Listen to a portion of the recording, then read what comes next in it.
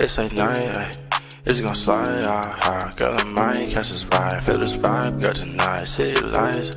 The time is right, ah, ah. You and I looking nice. So we fly, fly, fly. Hey, me, hey, hey, and you, hey, hey. Got some things uh, to do, uh. You like to move, what you, what you wanna do. Capítulo 38. Kazuma llega a casa exhausto, ah, solo quiero ver mi cama, dice a desgana. Oni-chan llegaste pronto, descubriste lo que querías. ¿Cómo salió todo? Dice Iris. Sí, más o menos iré a dormir estoy muerto te contaré los detalles mañana, ahora no quiero tener que pensar en eso. Dice Kazuma descansa, dice Iris. Kazuma entra a su habitación y ve que Aqua está acostada durmiendo en un lado de su cama, Kazuma se rasca la cabeza, creo que la preocupen mucho, Kazuma se acerca a Aqua y se sienta a su lado, Kazuma veía como Aqua dormía en su cama, lamento tener que preocuparte Aqua, es solo que, tengo cosas que hacer, estoy enojado, enojado conmigo mismo, cuando Megumin resultó herida, yo no sabía qué hacer, verla en ese estado, me rompió en mil pedazos, ustedes son demasiado importantes para mí, así que una vez que esto termine, ya no tendrás que preocuparte. Si sigues siendo tan tonto me preocuparé más, dice Aqua. Eh, estabas despierta. Dice Kazuma avergonzado. Si te pones a hablar al lado mío era obvio que me despertaría, dice Aqua. Je, jeje. Kazuma ríe incómodamente mientras desvía su mirada, Aqua levanta la manta con su mano, haciéndole un lugar a Kazuma en la cama, estás cansado verdad, ven, no deberías irte a tu cuarto, acuéstate o quemaré todas tus revistas porno. Sí señora, Kazuma se acostó al lado de Aqua en la cama mientras le daba la espalda a esta. Aqua también le daba la espalda a Kazuma en la cama, Kazuma, no quiero que te pase nada. Dice Aqua, no sé lo que hagas, pero, es peligroso, no voy a mentirte Aqua, lo es. Pero no voy a dejar mis deudas sin pagar, Aqua se da la vuelta y coloca sus manos en la espalda de Kazuma, y si te pasa algo. ¿Qué pasaría con Darkness, conmigo, Iris y griega? Con Megumin. Kazuma se da la vuelta en la cama para ver fijamente a Aqua, Aqua aunque me pasara algo, yo jamás las dejaría, Kazuma suspira profundamente, no sé si lo entenderías, yo, es cierto, tal vez no lo entendería, pero dime, explícame, no me dejes fuera, Megumin era mi amiga también, pero tú no me dices nada, solo sales y vuelves tarde, nunca me dices nada, sé que soy tonta, lo sé, lo sé pero aún así somos amigos verdad. Quiero estar involucrada en tu vida, no quiero que me dejes a un lado, no quiero quedarme sola de nuevo, si te pierdo como a papá yo, yo, preferiría morir, no quiero estar sola de nuevo 20 Kazuma acaricia el pelo de Aqua, si Aqua eres tonta y una diosa inútil, pero yo no te dejaré sola, eres tonta por creer que lo haría, bien, te contaré lo que pasa, pero no dejaré que te involucres, esto es una deuda que es solo mía y de nadie más.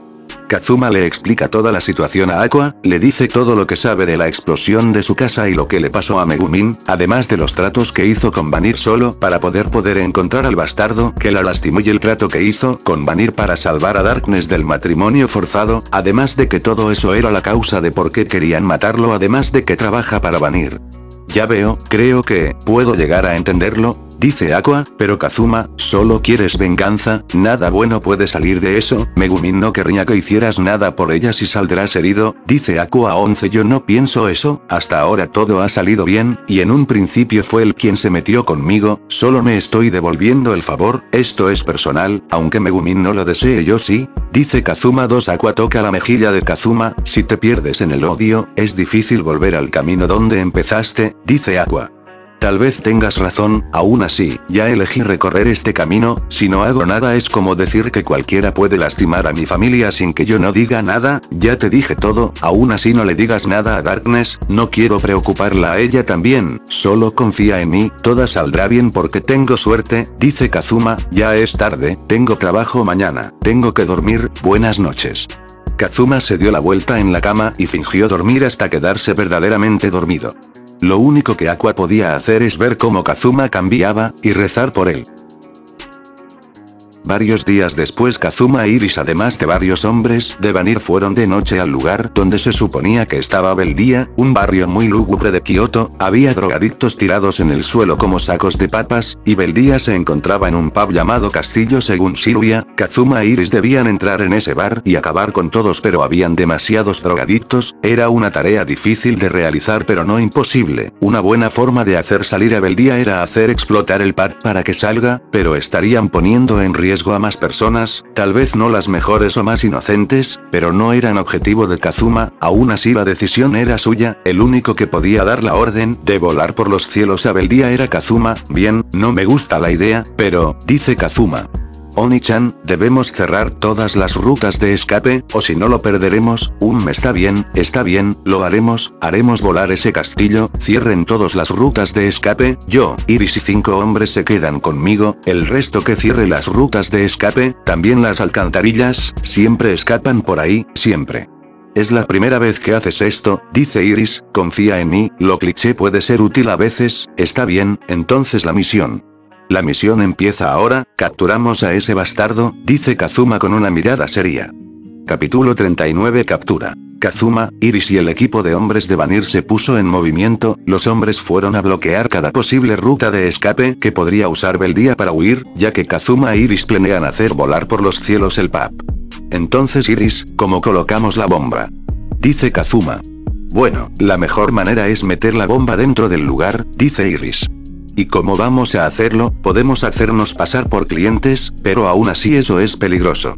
Venga, vamos, tengo una idea, dice Iris. De acuerdo, dice Kazuma. Sígueme la corriente, dice Iris.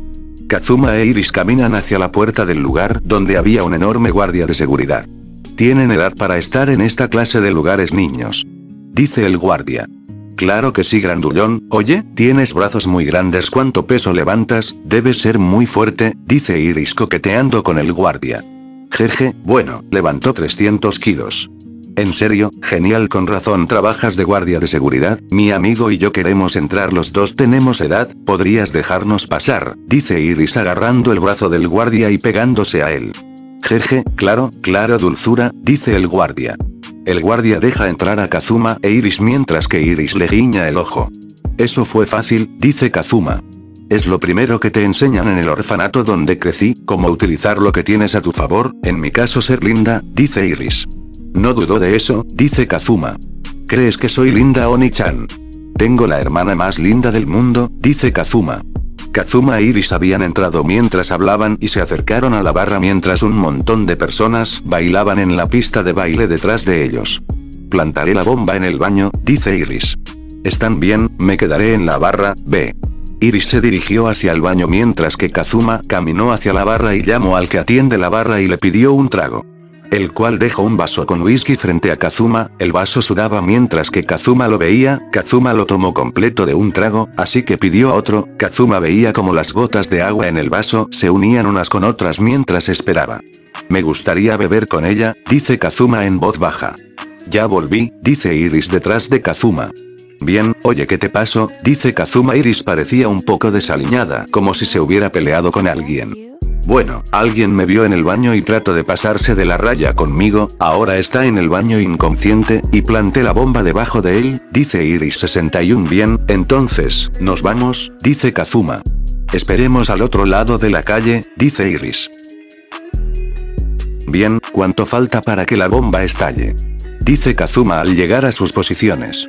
Iris saca un control con botones de su bolso, es mejor hacerlo explotar ahora. Bien, entonces que empiecen los fuegos artificiales, dice Kazuma. Iris aprieta el botón y el pub explota. Oye, ¿de qué estaba hecha la bomba que pusiste? dice Kazuma con cara de póker. C4, es bastante útil. ¿Y cuánto de eso pusiste? Dice Kazuma. Como 4 kilos, más o menos. Lo puse por donde pasaba una tubería de gas, por eso hay tanto fuego, dice Iris. Y ya veo, la gente está corriendo como loca, veremos qué hará el tal Beldía, dice Kazuma. En eso que esperaban el celular de Kazuma suena. Este contesta y era un hombre Sevanir que dijo que Beldía trataba de huir por las alcantarillas. Bien vamos, dice Kazuma con una sonrisa. Te dije que escapan por las alcantarillas. Bien, tenías razón. Los hombres de Vanir tenían a Beldía acorralado en las alcantarillas, este no podía ir hacia atrás pues solo volvería a un pub en llamas. No pensé que los perros de Vanir San vinieran a por mí. Dice Beldía a los hombres de Vanir que lo apuntaban con sus armas. Kazuma llega detrás de estos y se pone frente a los hombres. Beldía-san, supongo, vendrías con nosotros. Dice Kazuma. Ja, qué amable, pero fueron ustedes los que destruyeron mi castillo, ¿no es así? No lo sé, tal vez solo fue una fuga de gas conveniente, dice Kazuma. ¿Y tú quién eres mocoso? dice Beldía. No me conoces. Tu jefe quiso matarle hace poco, y lo logro en parte por eso quiero encontrarme con él, ¿podrías decirme dónde está? Tú, tú eres el mocoso que Mausama quería muerto, Satou Kazuma, ¿verdad? Tal vez, ahora que prefieres. Venir caminando o atado. Dice Kazuma. Un prefiero, tu vida. Beldía corrió y se desplazó cerca de Kazuma a una velocidad olímpica. Kazuma no tuvo tiempo de reacción, Beldía lo agarró del cuello y le puso un cuchillo en su garganta, los hombres de Vanir lo rodearon, jajaja, ¿en serio creen que están en posición de apuntarme con un arma? Ahora saldré de aquí o mato a su jefe, dice Beldía. Kazuma ríe un poco. Burlándose de Beldía. ¿Qué es tan gracioso mocos? dice Beldía presionando el cuchillo contra el cuello de Kazuma. Bueno, actuaste exactamente como creí que lo harías, eh. Ugh, una bala tranquilizante impactó contra Beldía desde las sombras de las alcantarillas, Iris se había quedado atrás a propósito para hacerlo en caso de ser necesario justo como Kazuma se lo había ordenado. Ah, qué cliché, bien nos lo llevamos, amarrenlo nos lo llevamos. Luego una larga noche Kazuma regresa al muelle, donde Vanir lo espera en su camioneta blanca de siempre, Vanir baja de esta. Hola muchacho, veo que hiciste un buen trabajo, ahora solo queda averiguar dónde está lo que buscamos, dice Vanir. Entonces, ¿conseguiste algo de Beldía? Dice Kazuma. Aún no, se resiste a hablar, pero tarde o temprano todos hablan, siempre hablan, ¿quieres intentar? Dice Vanir. Sí, necesito hacerlo hablar rápido, estoy cansado de esperar, dice Kazuma. Bien, entiendo déjame enseñarte cómo hacer hablar a alguien, tal vez te manches un poco. No le tengo mucho afecto a esta ropa, terminemos con esto quiero ir a casa a descansar, dice Kazuma.